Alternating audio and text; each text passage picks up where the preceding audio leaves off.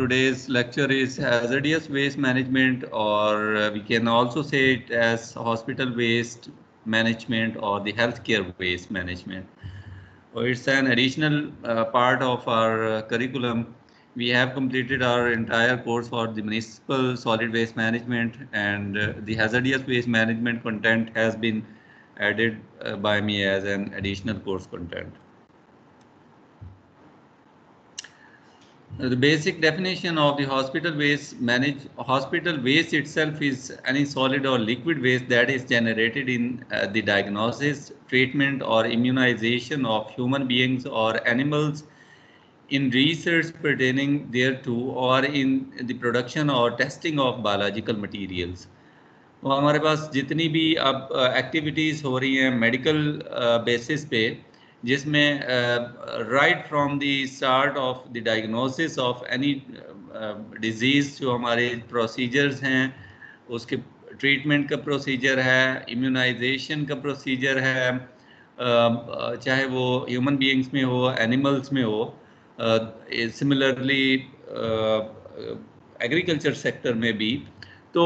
ये सारा जो रिज़ल्ट uh, करेगा डिफरेंट वेस्ट को that would be called as hazardous waste. Uh, the major sources of healthcare waste are uh, in terms of uh, hospitals, university hospitals, which are uh, the teaching hospital and general hospital, dis district or tehsil headquarter hospitals, which are very common in our cities. Similarly, other healthcare establishments include emergency medical care services, like double one double two uh, in Pakistan healthcare centers and dispensaries there are a lot of dispensaries in all communities. Obstetric and maternity clinics outpatient clinics dialysis centers first aid posts and sick bays long-term healthcare establishments transfusion centers military medical services and many more ये major जो हमारे sources हैं health care waste की generation के तो uh, हम उनको discuss कर रहे हैं। यहाँ से हेल्थ केयर वेस्ट या हैजर्डियस वेस्ट बहुत ज़्यादा जनरेट होता है और इनको major sources of health care waste consider किया जाता है। तो सबसे पहले तो इसमें हॉस्पिटल्स आ जाते हैं जो कि बड़े हॉस्पिटल्स हैं। अगर आप बात करते हैं रावलपिंडी इस्लामाबाद की तो इसमें आपके यूनिवर्सिटी हॉस्पिटल्स में अगर आप इनमें पिम्स आ जाता है आपका शिफा आ जाता है इसी तरह से आपके पास ये हमारे यहाँ ज़रा कल्चर इस तरह का का है कि गवर्नमेंट हॉस्पिटल्स भी हैं तो प्राइवेट हॉस्पिटल्स भी हैं लेकिन अभी हम इन चीज़ों को नहीं डिस्कस कर रहे हैं। हमारा पर्पस जो है the generation of solid waste है hazardous solid waste from from different centres तो हम उसको uh, कर रहे हैं। डिस्कस कर रहे हैं। इसी तरह रावलपिंडी में अगर हम आ जाएँ तो यहाँ पे एम एच भी है सी एम एच भी है होली फैमिली हॉस्पिटल भी है फौजी फाउंडेशन हॉस्पिटल है सेंट्रल हॉस्पिटल है जिसे बेनज़ीर भुट्टो हॉस्पिटल भी कहते हैं। इसी तरह से डी एच क्यू भी है। तो बहुत सारे हॉस्पिटल्स हैं। इसी तरह और बहुत सारे छोटे हॉस्पिटल्स भी होंगे जो कि डेली बेसिस पे large quantities of health care waste generate कर रहे होते हैं। इसके अलावा जो प्राइवेट लेवल पे जो बहुत सारी एक्टिविटीज़ हो रही होती है क्लिनिक्स बनाए हुए हैं डॉक्टर्स ने या डिस्पेंसरीज हैं मेडिकल स्टोर्स हैं, आपके डिफरेंट लेबॉर्ट्रीज़ हैं, वो और बहुत सारे सोर्सेज जो है, वो माइनर सोर्सेज में आ जाते हैं आपके हेल्थ केयर बेस की जनरेशन में। Related laboratory and research centers are also included in major sources of healthcare waste generation, medical and biomedical laboratories, biotechnology laboratories, medical research centers, educational institutions, etc. Mortuary and autopsy centres जहाँ पे आपके आप कह लें मुर्दा खाना जो होते हैं या जहाँ पे आपकी डेड बॉडीज़ को हैंडल किया जाता है बहुत सारी इस तरह के केसेस जो एक्सीडेंट्स हो जाते हैं या हॉस्पिटल्स में इस तरह कैजुअलिटीज़ हो जाती हैं ड्यूरिंग द ट्रीटमेंट या ड्यू टू सीवियर डिज़ीज़ तो उनको हैंडल करने का जो सेक्शन होता है, वहाँ से भी ऑब्वियसली हैजर्डियस वेस्ट जनरेट होता है। Animal research and testing centres blood banks and blood collection services nursing homes for the elderly तो ये बहुत सारे हमारे जो, बहुत सारे सेंटर्स हैं जो जब हम सॉलिड वेस्ट मैनेजमेंट की बात कर रहे थे तो हमारा तो जहाँ पे भी हम देखते थे, हमें सॉलिड वेस्ट जनरेशन मिलती थी, क्योंकि कहीं ना कहीं पॉपुलेशन है, कहीं ना कहीं कोई लोग रिजाइड कर रहे हैं। लोग रिजाइड कर रहे हैं तो ऑब्वियसली वहाँ पे वेस्ट जनरेट होगा और वेस्ट जनरेट होगा तो we have to manage that waste लेकिन ये जो सेंटर्स हैं, ये भी कम नहीं है in terms of hazardous waste management because it takes a lot of care to manage the hazardous waste or the healthcare waste or uh, there are a lot of uh, sources or centers which generate this kind of solid waste तो इस इन चीज़ों को देख के ये जो नाम सारे हमने एनालिस्ट किए हुए हैं इनको देख के आप अंदाज़ा लगाएँ कि कितने कितनी जो सिर्फ़ आप research laboratories it's just single point तो आप देखें कि कितनी लेबॉर्ट्रीज हैं जो पूरे सिटी में स्प्रेड हुई होती हैं तो ये सिर्फ़ एक पॉइंट को कवर कर रही हैं यहाँ पे। ठीक है? इसी तरह से एनिमल रिसर्च सेंटर्स हैं ब्लड बैंक्स हैं, हर हॉस्पिटल में ब्लड बैंक होता है मॉर्चरी एंड सेंटर्स हर हॉस्पिटल में होंगे नर्सिंग होम्स होंगे तो अगर हम इंटरनेशनली देखें ग्लोबली देखें तो नर्सिंग होम्स भी बहुत ज़्यादा कॉमन होते हैं। तो ये सारी चीज़ें जो हैं, ये सारी इनको हमें देखना पड़ता है कि यहाँ से जो सॉलिड वेस्ट जनरेट हो रहा है, हमने उसको किस तरह से हैंडल करना है, उसको हमने किस तरह से इन्वायरमेंट से सेपरेट करना है। ना सिर्फ़ इन्वायरमेंट से, उसको हमने किस तरह से जनरल वेस्ट से सेपरेट करना है। तो ये सेग्रीगेशन और इसके अंदर जो रेड लाइन है, वो लाजमी है। अदरवाइज़ अगर ये मिक्स हो जाता है उसके साथ तो हैजर्डियस वेस्ट तो बहुत ज़्यादा उसकी वजह से जो है थ्रेट हेल्थ हेल्थ को हो सकता है तो उसको अगर हम अपनी वेस्ट स्ट्रीम लाइन में ऐड कर लेते हैं तो बहुत ही बहुत ही थ्रेट है ह्यूमन हेल्थ और एनवायरनमेंट को Minor sources of healthcare waste include the small healthcare establishments, physicians, offices, private clinics. ये अब आप देख लें कि पूरे सिटी में कितने प्राइवेट क्लिनिक्स होते हैं डॉक्टर्स ने जो बनाए होते हैं इसी तरह से डेंटल क्लिनिक्स हैं उनका अंदाज़ा लगा लें, हर सिटी में कितने डेंटल क्लिनिक्स हैं। Specialised health care establishments with low amounts like nursing homes psychiatric hospitals disabled person institutions तो ये माइनर सोर्सेज हैं, लेकिन यहाँ से भी जनरेट होता है। Non health activities like cosmetic ear piercing and tattoo parlours illicit drug users funeral services ambulance services and home treatment तो ये सारी जो कैटेगरीज हैं, ये minor sources of health care waste generation हैं। और इन सब के वेस्ट को भी हैंडल करना बहुत इंपॉर्टेंट है कि अगर आप सिर्फ़ होम ट्रीटमेंट एक सिंगल टर्मिनोलॉजी को लें तो हर हाउस होल्ड में ऑलमोस्ट हर हाउस होल्ड में मेडिसन जो है, वो किसी न किसी कैटेगरी की, किसी न किसी लेवल की, जो किसी न किसी डिज़ीज़ को क्योर करने के लिए पड़ी होती हैं। और उनको अगर जब वो मतलब बहुत सारी आउटडेटेड हो जाती हैं, ऐसे ही फ्रिज में रख रख के उनको आउटडेटेड कर दिया जाता है। बहुत सारी जो है वो या तो उसमें जो है वो कंप्लीट डोसेज जो है वो यूज़ नहीं हुई और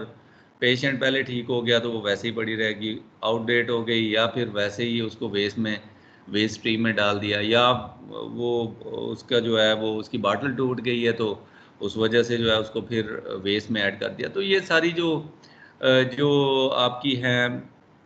एडिशंस ये आपके जनरल वेस्ट के साथ आती है। हम घरों में तो ऐसा सिस्टम नहीं होता कि वहाँ पे कोई ये बात करे कि ये हेल्थ केयर वेस्ट है तो इसको आप डस्टबिन में नहीं, बल्कि इसको कहीं अलग से ट्रीटमेंट दें और अलग से इसको जो डिस्पोजल के लिए जो हम लेके जाए। ना ही कलेक्शन का मैकेनिज्म है, ना ही कोई हाउस होल्ड से जो है उसकी स्टोरेज या हैंड ओवर करने का कोई मैकेनिज्म है। तो इस वजह से ये माइनर सोर्सेज भी बहुत इंपॉर्टेंट हैं, इनको भी हमें देखना चाहिए। टाइप्स ऑफ़ वेस्ट में from management point of view there are two types of waste in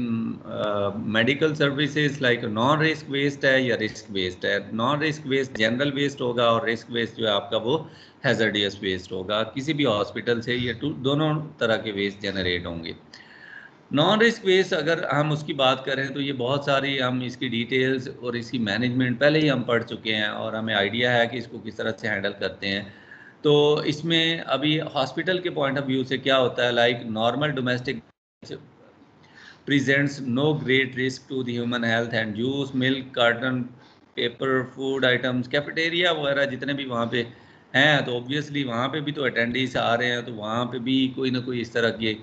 food items और इस तरह की एक्टिविटीज़ होती हैं तो वहाँ से जनरेट होने वाला waste would be the non risk waste जबकि अगर रिस्क वेस्ट की बात करें तो there are almost six to seven categories मैं here in terms of risk waste which include infectious waste pathological waste pharmaceutical waste sharps genotoxic waste chemical waste radioactive waste तो ये सारी कैटेगरीज हैं आपके वेस्ट की जो आपके हैजडियस वेस्ट की जो कैटेगरी है, उसके अंदर आती है।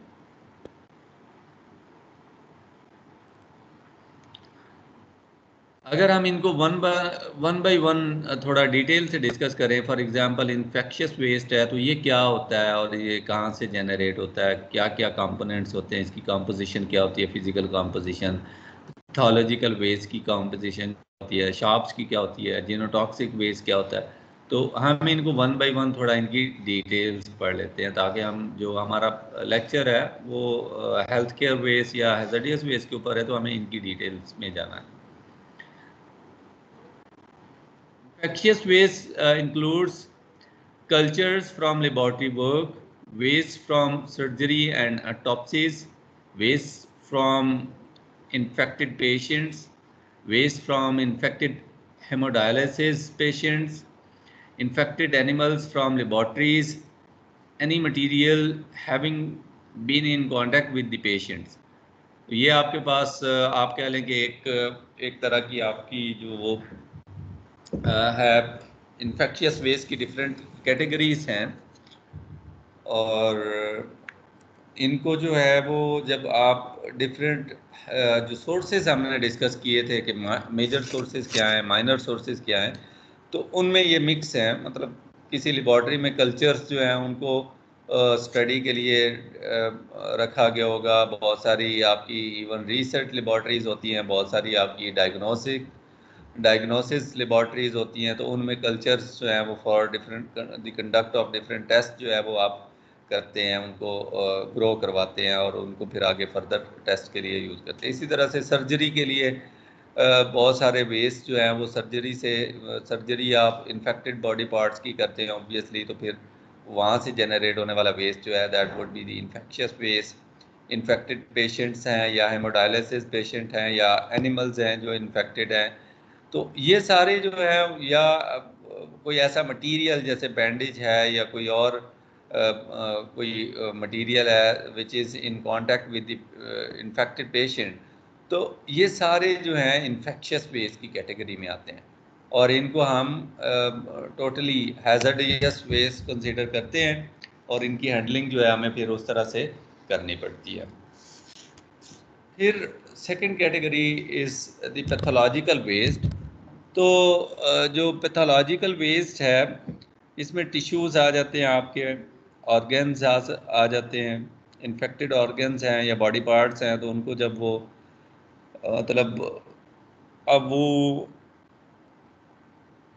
अल्लाह ना करे। फॉर एग्जांपल बहुत सारे सवियर एक्सीडेंट्स होते हैं डेली बेसिस पे। हॉस्पिटल्स में पेशेंट्स आ रहे होते हैं बहुत सवियर एक्सीडेंट्स के साथ और उनके बहुत सारी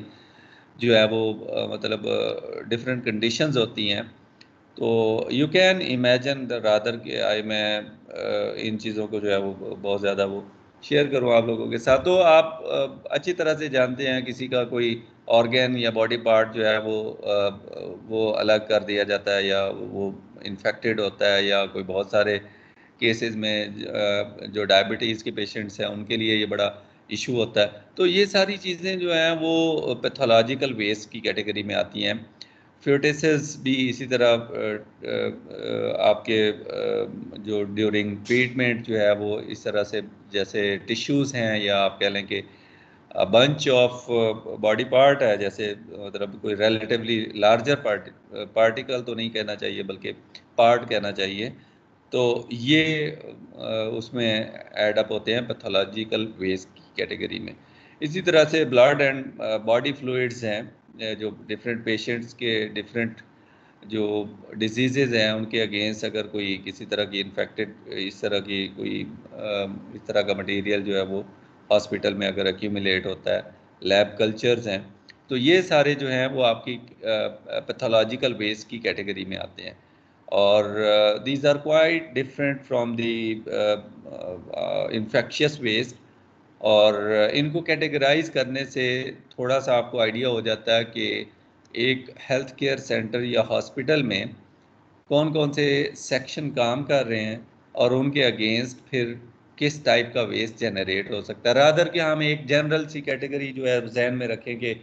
yes there is a category of hazardous waste hazardous waste तो बहुत सारी जगहों से राइज होता है, लेकिन उसकी कैटेगरीज या उसकी कॉम्पोजिशंस क्या होती हैं, उसकी टाइप्स क्या होती हैं, वो हम अगर इनको डिस्कस कर लेंगे तो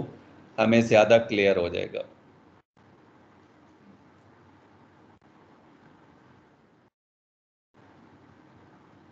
फिर शॉप्स आ जाती हैं आपकी।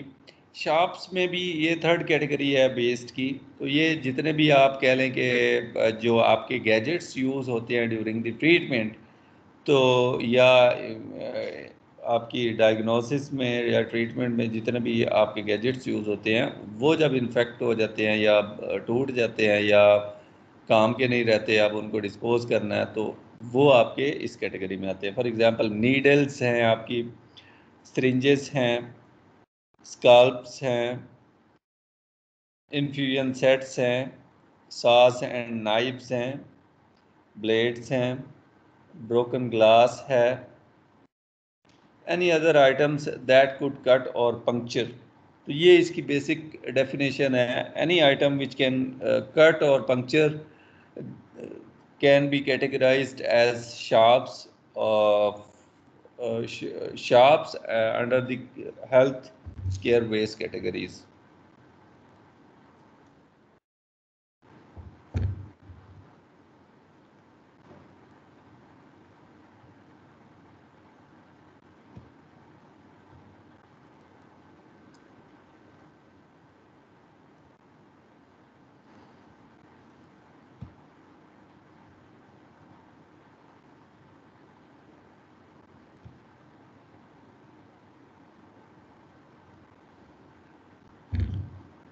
ये भी आपके डिफरेंट जो हेल्थ केयर यूनिट्स हैं तो ऑब्वियसली वहाँ पे ये सारी चीज़ें जो हैं वो यूटिलाइज होती हैं और इनका आ, इनका अल्टीमेट डिस्पोजल भी चाहिए होता है। जब एक चीज़ प्रोडक्शन लाइन से गुज़र के कंज्यूमर पे आई है कंज्यूमर अब इस चीज़ के डॉक्टर्स हैं या सर्जन्स हैं जब वो यूटिलाइज कर लेते हैं इनको तो इनकी एक लाइफ है।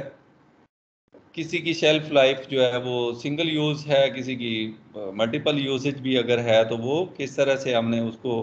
एड्रेस करना है, किस तरह से हमें उसको हैंडल करना है, ये शॉप्स की कैटेगरी में फिर हम देखते हैं कि हम किस तरह से इसको कैटेगराइज कर सकते हैं in terms of medical waste या हैजर्डियस वेस्ट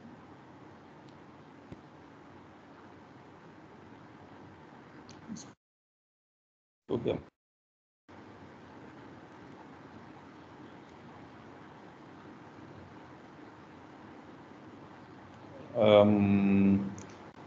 आप लोगों को एमन आपको कौन सा शेयर हो रहा है? कौन सी स्लाइड शेयर हो रही है?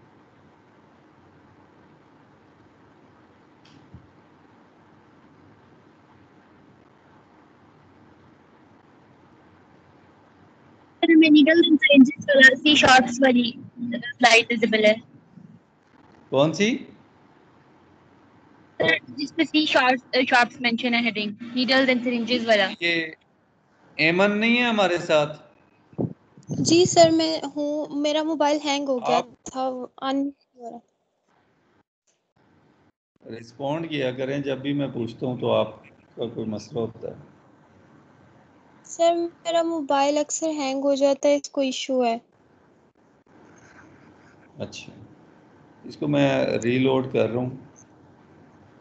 लेक्चर को ये कोई इशू कर रहा है। तो ये तीन कैटेगरीज बेसिकली हमने डिस्कस किए हैं। एक तो इन्फेक्शियस वेस्ट है एक पैथोलॉजिकल वेस्ट है और एक शार्प्स है। ये मेजर कैटेगरीज हैं हेल्थ केयर वेस्ट की और मेजर जो सोर्सेज हैं हेल्थ केयर वेस्ट जनरेशन के वहाँ से ये राइज होती हैं और आप आ, अच्छी तरह से जानते हैं कि अगर इन चीज़ों को हम कैटेगराइज कर रहे हैं तो एट द सेम टाइम हम, हमें इनको हैंडल करने के लिए भी उस तरह की स्ट्रेटजी डेवलप करनी है कि हमारा ये वेस्ट जो है, उसको हम इफ़ेक्टिवली आप कह लें कि कर सकें यूटिलाइज कर सकें in terms of its collection transportation and proper disposal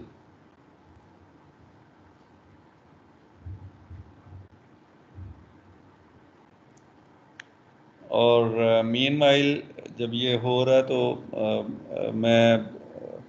कोशिश करूँगा कि health care waste specially focusing on the medical waste और हॉस्पिटल वेस्ट किसी एक्सपर्ट के साथ भी हम टाइम सेट कर लें और उसमें जो है वो फिर हम एक लेक्चर उनका भी कंडक्ट करवा लें। ये जनरल इंट्रोडक्शन है या डिफरेंट कैटेगरीज हम डिस्कस कर रहे हैं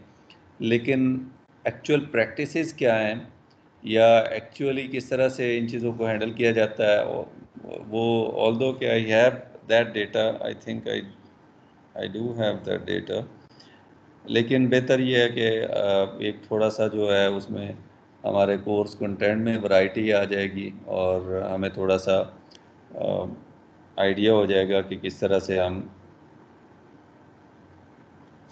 इन चीज़ों को जो है वो हैंडल कर सकते हैं। तो जो एक्चुअल प्रैक्टिसेस लोग कर रहे हैं, उनको भी हम देखेंगे कि आपके एक सीनियर हैं, वो इस सेक्टर में काम करते हैं तो हम कोशिश करेंगे कि उनसे टाइम लेके आप लोग आपस में अपना टाइम जो है वो टेंटेटिव मुझे टाइम बता दीजिएगा कहीं ऐसा ना हो कि मैं उनको बुलाऊं और आगे क्लास में कोई भी ना हो। तो ऐसा तो ऑब्वियसली मैं नहीं चाहूँगा। तो अगर आप लोग विलिंग हुए और कोई टाइम लाइन आप मुझे देते हैं तो फिर उनसे उस टाइम के ऊपर जो है वो, और ये टाइम लाइन जो है वो कोई भी हो सकती है, ज़रूरी नहीं है कि हम क्लास में ही इस चीज़ को डिस्कस करें। आई वॉज़ थिंकिंग कि हम, आज जो है क्लास का वो कंप्लीट कर लेते क्योंकि पीसी का भी चल रहा है हमारा मीन वाइल तो इसमें जो है वो फिर आपको जो आपका सी पी है, उसको कंप्लीट करके प्रेजेंट करने का टाइम दे देता। उसमें भी एक इंपॉर्टेंट चीज़ है, अभी टाइम है आप लोगों के पास अगर हम नेक्स्ट वीक से भी इस चीज़ को कंडक्ट करें तो हमारा जो ओवरऑल जो बनता है सेटअप उसमें आप जितना पढ़ चुके हैं आप देखें आप, आपने हेल्थ केयर वेस्ट भी पढ़ लिया, इसके बाद एक और हैजर्डियस वेस्ट की कैटेगरी है, उसको भी हमने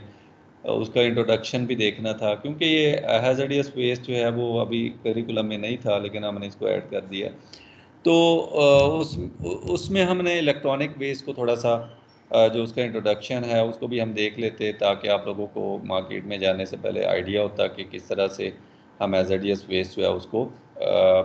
कंसीडर करते हैं। तो वो भी इंशाल्लाह हम करेंगे और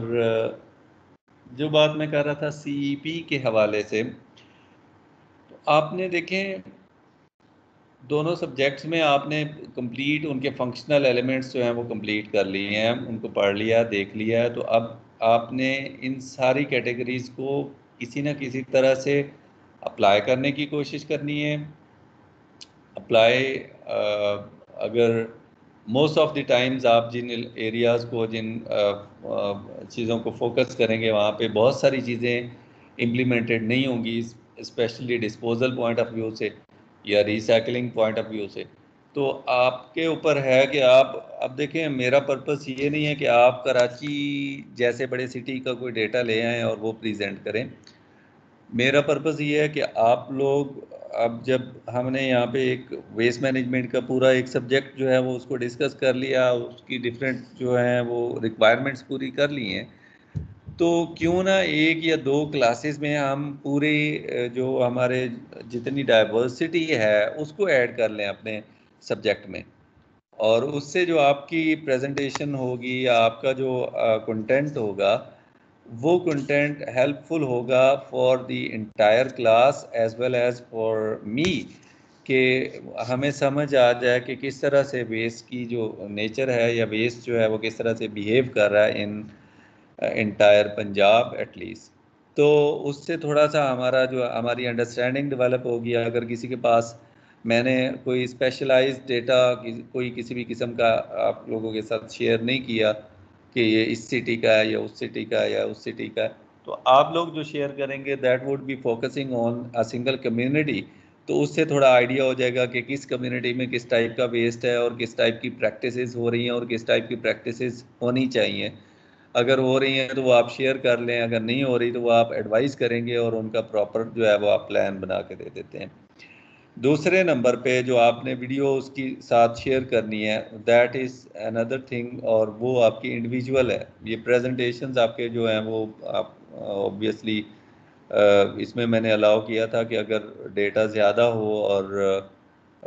स्टूडेंट्स जो हैं तो चलो ठीक है, आपने सब्जेक्ट जो है वो प्रूव किया है पूरा तो इसमें अगर आप अपने करके आते हैं एज ए ग्रुप लेके आते हैं डेटा तो ठीक है that would be acceptable again उसमें मैं जो है वो प्रेजेंटेशन या रिपोर्ट की हद तक आपका वो ग्रुप रहेगा। तो उसमें आप अपना डेटा जो है वो एज ए ग्रुप शेयर कर सकते हैं और उसमें हम जो है उन चीज़ों को डिस्कस कर सकते हैं। हमारे लिए वो नॉलेजफुल होगी चीज़। लेकिन जो आपने अपनी शेयर करना है ये मैं अब सी के हवाले से जो मैंने डिफरेंट कैटेगराइज किया इसको जितना डिफरेंट इसकी कैटेगरीज हैं। अब प्रेजेंटेशन जो ग्रुप में दे रहा हूँ तो उसमें हो सकता है बहुत सारे स्टूडेंट्स उस तरह की इनपुट ना दे पाएँ, जिस टाइप की इनपुट जो है वो मैं एक्सपेक्ट कर रहा हूँ। या मुझे जो लगता है कि इस तरह की इनपुट होनी चाहिए आपकी। तो इस वजह से फिर आपको वो जो है हॉस्पिटल वेस्ट हो इलेक्ट्रॉनिक वेस्ट हो जनरल वेस्ट हो कंस्ट्रक्शन एंड डिमोलेशन वेस्ट हो, जितनी भी कैटेगरीज आपने वेस्ट की पढ़ी हैं, उनमें से किसी भी टाइप की वेस्ट की, किसी भी टाइप की स्टडी जो है, वो in the form of video अगर आप उसको कैप्चर करते हैं with your own content rather कि आप उसको फिर कहीं से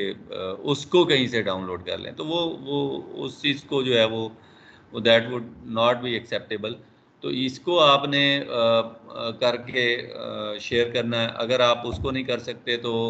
जिस तरह आपको सेकंड चैप्टर में याद होगा, हमने पढ़ा था जो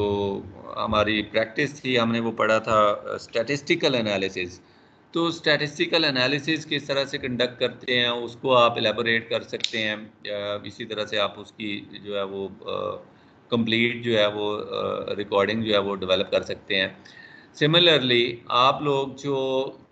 आपको असाइनमेंट इसके साथ इसी सी e का पार्ट थी, ये बहुत ज़्यादा डाइवर्सिफाइड था और ये सारा काम थ्रू आउट आपको करना था कि जिसमें आपको हाउस होल्ड लेवल पे जो वेस्ट जनरेशन रेट है वो कैलकुलेट करना था कि आपके घरों का जो सॉलिड वेस्ट जनरेशन रेट है, उसका पैटर्न क्या है और वो किस तरह से जनरेट हो रहा है। तो उसकी आप उसको आप कर सकते हैं। बहुत सारे आपके सीनियर्स ने ये काम पहले किया हुआ था। और उन्होंने ये चीज़ शेयर की थी। पेंडेमिक में देखें, आपको लर्निंग के लिए डिफरेंट टूल्स जो हैं, वो असाइन करने पड़ेंगे और आपको वो भी आपको भी वो चीज़ें वो करनी पड़ेंगी। अदरवाइज़ जो है, वो हमारे पास फिर कोई सच वो ऑप्शन नहीं रहती कि हम किस तरह से आपको इवेल्यूएट करें। तो इन चीज़ों को जब आप इन ऑल रिस्पेक्ट कंप्लीट करते हैं, आप इसमें देखें हाउस होल्ड लेवल पे आप अगर काम कर रहे हैं तो उसका आप डेटा शेयर करेंगे in the form of statistical analysis ठीक है, आपने स्टैटिस्टिकल एनालिसिस में शेयर कर दिया कि हमारा एक हाउस होल्ड है, उसमें इतने लोग हैं, इतना डेटा हमने कलेक्ट किया और उसके हिसाब से इतनी टनेज है डेली बेसिस पे या मंथली बेसिस पे। अच्छा जी, अब हमारे टाउन में टोटल पॉपुलेशन आप सपोज़ कर लें कि इतनी है टोटल पॉपुलेशन वन लैख है टू लैख है, और उसके हिसाब से हमारे जो हाउस होल्ड हैं वो इतने बनते हैं और टोटल जनरेशन इतनी बनती है और उस हिसाब से हमारी इतनी ये हो जाएगी टोटल टनेज और टनेज जो है वो लूज टनेज है, उसकी डेंसिटी अगर इतनी हो तो हमें इतनी गाड़ियाँ चाहिए ट्रांसपोर्टेशन के लिए डिस्पोजल के लिए हमें इतनी लैंडफिल साइट इतना टाइम चाहिए। तो ये इस टाइप का आपने कुछ इसको डिज़ाइन कर देना है जो हाउस होल्ड लेवल का दूसरे नंबर पे रिलेटिवली लार्जर डेटा है, जो आपका कम्युनिटी लेवल का है, जिसमें कुछ लोगों ने किसी कंपनी को विज़िट किया, किसी म्यूनसिपैलिटी को विज़िट किया, किसी छोटे मॉडल को विज़िट किया है, वो वहाँ का डेटा वहाँ का डेटा ऑब्वियसली वो वहाँ पे जाके सिर्फ़ ये चीज़ शेयर करेगा कि हम वहाँ गए तो हम मैनेजमेंट से मिले, उन्होंने हमें ये दिखाया, वो दिखाया, वो ये कर रहे थे, वो कर रहे थे। अब देखें, इसमें आप स्टेटिस्टिकल एनालिसिस कंडक्ट नहीं कर रहे। तो इस वजह से स्टैटिस्टिकल एनालिसिस वाली जो असाइनमेंट है, वो इंडिविजुअल लेवल पे आपकी हाउस होल्ड लेवल की जो कैलकुलेशन है, उसके साथ एसोसिएटेड है। ठीक है? तो आप लोगों ने इसको कंफ्यूज नहीं करना। हाउस होल्ड लेवल से स्टैटिस्टिकल एनालिसिस को इनकॉर्पोरेट करके आप अलग से एक जो है वो अपना, अपनी रिपोर्ट सबमिट करवाएँगे, जो आपकी कम्युनिटी लेवल पे पूरे सॉलिड वेस्ट मैनेजमेंट सिस्टम को ये जो integrated solid waste management system है, उसको अगर हैंडल करने की हम कोशिश कर रहे थे तो उसके लिए जो भी म्यूनिसपैलिटी या जो भी मॉडल या कम्युनिटी आपने सिलेक्ट की है, उसके लिए जो वो प्रैक्टिसेस हैं, उन प्रैक्टिसेस को आपने अलग से ग्रुप की फॉर्म में आप वो कर सकते हैं रिपोर्ट भी प्रेजेंटेशन भी। और वही आपकी प्रेजेंटेशन यहाँ पे टीम्स पे होनी है। और उसके बाद तीसरी चीज़ आ जाती है आपका वीडियो कंटेंट तो वो वीडियो कंटेंट आपका हाउस होल्ड लेवल से भी हो सकता है और इससे भी हो सकता है जो आपकी आप कह लें कि, जो आपका मेजर प्रोजेक्ट है, जिसकी आपकी ग्रुप की फॉर्म में प्रेजेंटेशन होनी है। तो उसमें आप उनका भी वीडियो कंटेंट शेयर कर सकते हैं ताकि हमें पता चल जाए कि वाकई आपने काम किया है। और अगर वो नहीं किया तो हाउस होल्ड जो फॉर एग्ज़ाम्पल आप कहते हैं कि हम ये प्रेजेंटेशन तो in the form of group दे रहे हैं तो अब हर बंदा एक ही वीडियो कैसे शेयर करे? तो जिस बंदे ने उसमें काम किया है, वो अपनी वीडियो उसकी शेयर कर सकता है, जो उसने मेजर प्रोजेक्ट की विज़िट में या उसकी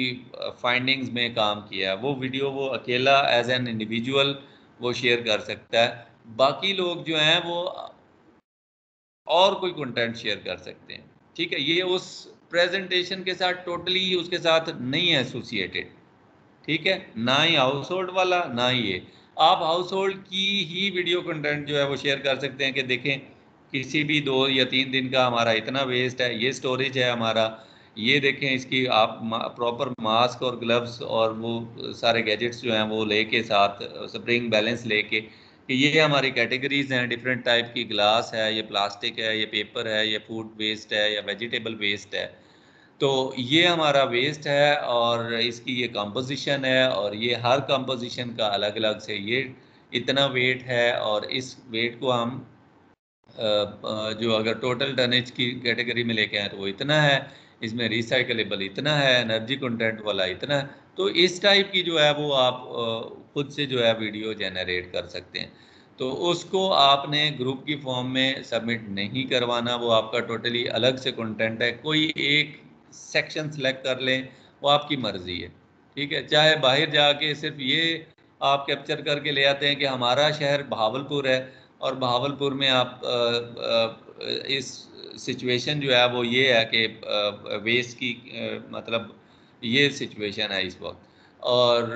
अगर आपको कोई हॉस्पिटल या हेल्थ केयर फैसिलिटी मिल जाती है आप वहाँ का बेस आपको एक्सेस है तो आप उसके ऊपर उसको कैप्चर कर सकते हैं। कोई laboratory diagnosis laboratory research centre या कुछ भी ऐसा मिल जाता है तो आप उसका रूट या उसके चैनल को स्पेसिफाई कर सकते हैं। तो ये चीज़ें आपको क्लियर होनी चाहिए कि आपके जो ये सी e है ना, ये इस तरह नहीं है कि अगर आप ये सोच के बैठे हैं कि आप सर ने ग्रुप्स की इजाज़त दे दी है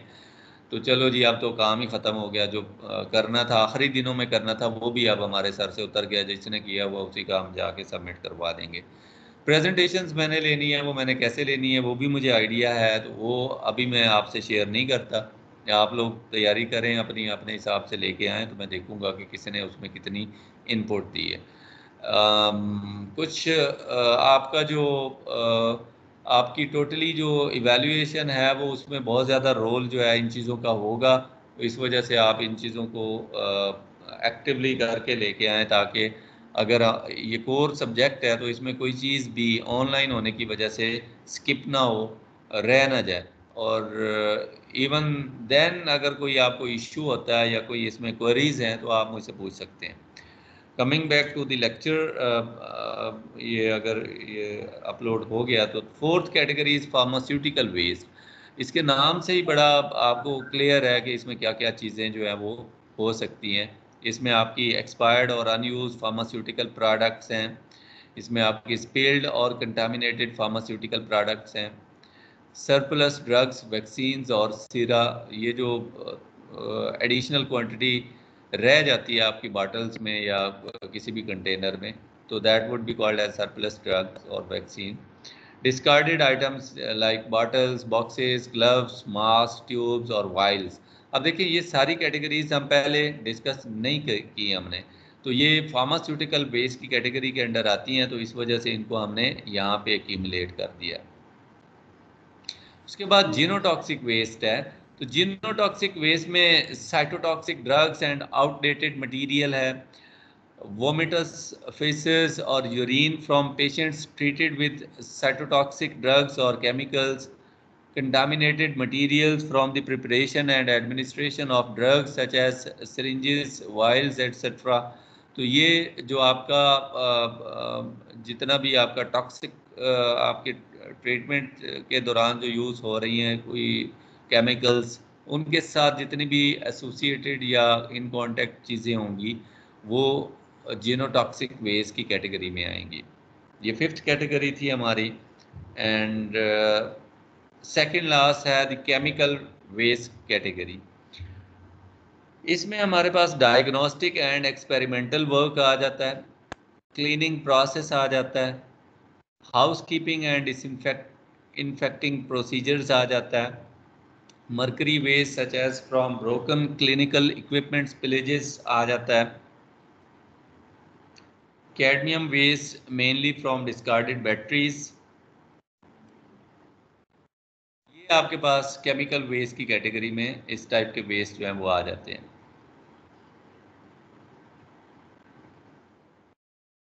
Then we have the last category as radio active waste जो हमारी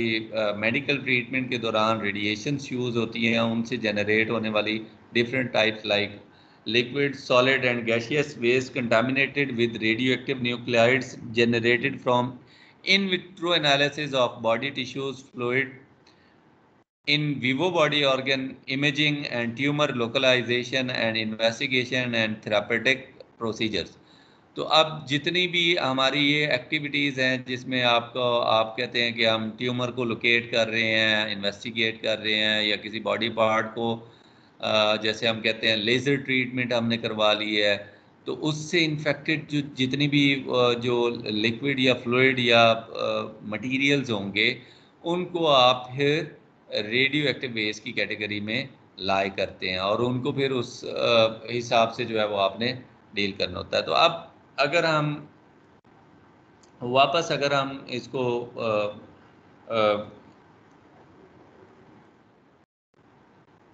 इस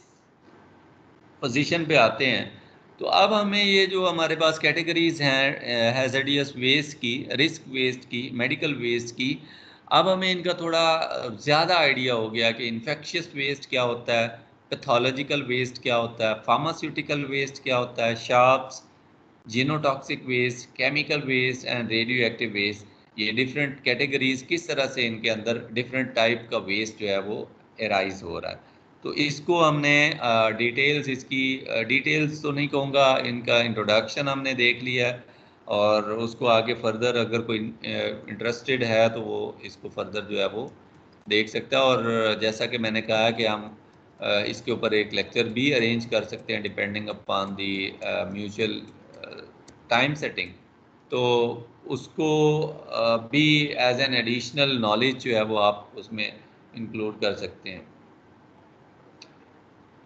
रिस्क क्या हो सकते हैं? आप इनकी ये जो हम जिस लेक्चर की मैं बात कर रहा हूँ, उसमें बहुत अच्छी प्रैक्टिसेस जो हैं वो कंडक्ट की जाती हैं for the for the disposal और management of health care waste लेकिन हमने सिर्फ़ एक इंटरनेशनल लेवल के हॉस्पिटल को नहीं देखना, बल्कि हमने जनरल हॉस्पिटल्स क्योंकि ये हमारा ये नहीं है कि अच्छा एक हॉस्पिटल तो कर रहा है एटलीस्ट हमने देखना है वेस्ट को कि कितना वेस्ट है। अगर इवन एक हॉस्पिटल भी नहीं कर रहा कम्प्लीटली इसको हैंडल तो उसको देखने की ज़रूरत है। क्योंकि वो सारे का सारा जनरल वेस्ट के साथ मिक्स होगा जनरल वेस्ट के साथ मिक्स होगा तो ऑब्वियसली हमारा जो सिस्टम है वो डिस्टर्ब होएगा। और जनरल वेस्ट में जब आपने इसको इंक्लूड कर दिया तो फिर ह्यूमन हेल्थ जो है वो टोटली थ्रेट पे चली जाएगी। तो ये जैसे आपको यहाँ पे नज़र आ रहा है, यहाँ पे डिफरेंट पिक्टोरियल व्यूज़ हम कुछ देख लेते हैं कि जिनमें हम इन चीज़ों को देखते हैं कि किस तरह से इसको आप कह लें कि वेस्ट जो है इसको किस तरह से डिस्कार्ड किया जाता है या इसको किस तरह से ट्रांसपोर्ट करने के लिए सेपरेट इनकी सेग्रीगेशन करने के बाद जो व्हीकल्स हैं उनको ये वेस्ट जो है एलोकेट किया जाता है इंसिनरेट किया जाता है इस वेस्ट को। ठीक है? ये इंसिनरेटर है बेसिकली और जैसे आपने फंक्शनल एलिमेंट्स पढ़े थे सॉलिड वेस्ट के तो उसी तरह से इसके फंक्शनल एलिमेंट्स हैं जो आपका आप कह लें कि मेडिकल वेस्ट है या हैजर्डियस वेस्ट है। लेकिन इसमें आपके जो जनरेटर्स हैं कलेक्टर्स हैं, या जो आपकी इसमें चेन है, उसमें थोड़ा सा मैनेजमेंट में चेंज आ जाता है। फॉर एग्जांपल वेस्ट जनरेशन पहले हाउस होल्ड से होता था। तो आप doctors nurses pharmacist theatres assistants patients attendants जितने भी ये लोग हैं, इन लोगों की वजह से वेस्ट जनरेट हो रहा है, जो हैजर्डियस वेस्ट है। अच्छा उसके बाद waste collection waste transportation to the storage point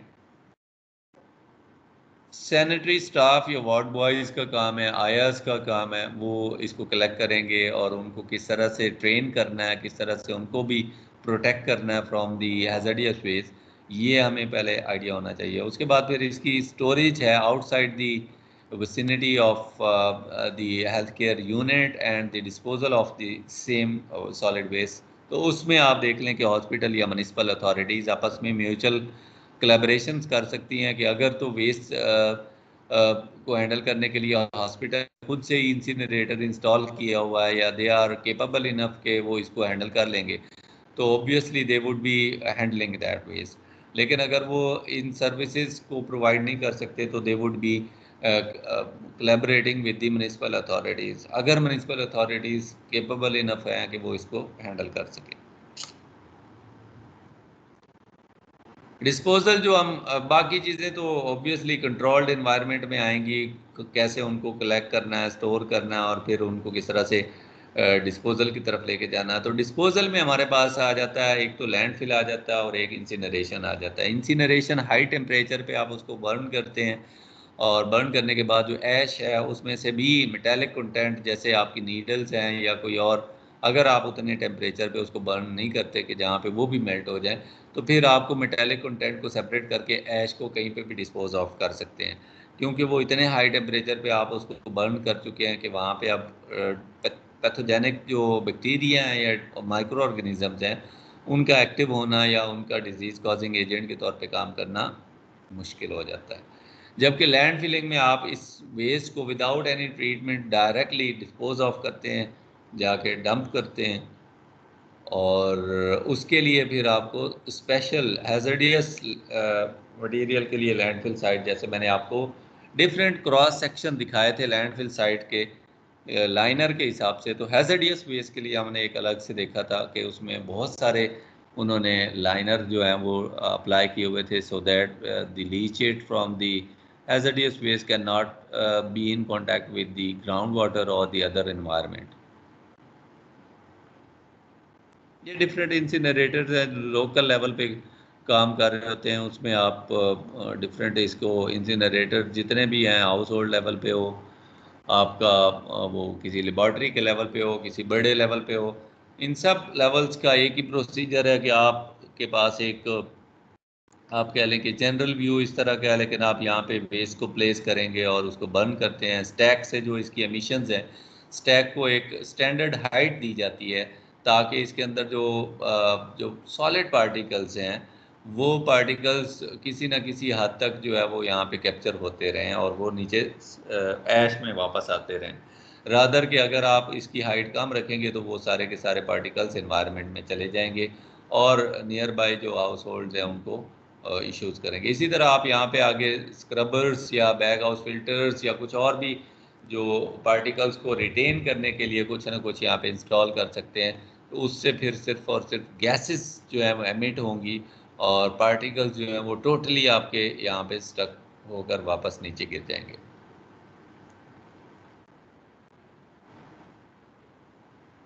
ये जैसे आपका ग्लास था, इसको आपने बर्न कर दिया तो अब ये ऐश में कन्वर्ट हो गया, ठीक है? ये उसकी जो बेसिक जो उसकी प्लेसमेंट है, वो यहाँ पे आप करते हैं और फिर उसके बाद फर्नेस को ऑन करते हैं और उसको जला देते हैं वेस्ट को। ये एडवांस आप कह लें कि आपके पास इंसिनरेटर है। जिसमें आप वेस्ट को बर्न कर सकते हैं।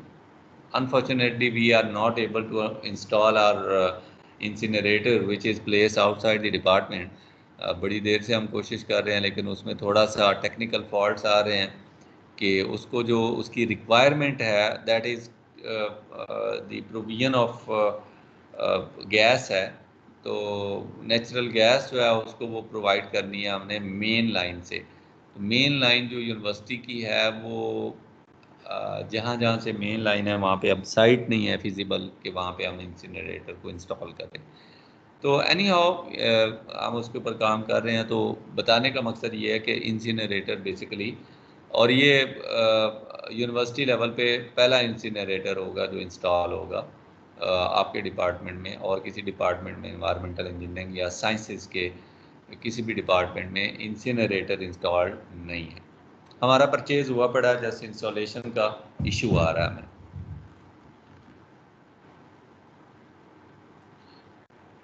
all right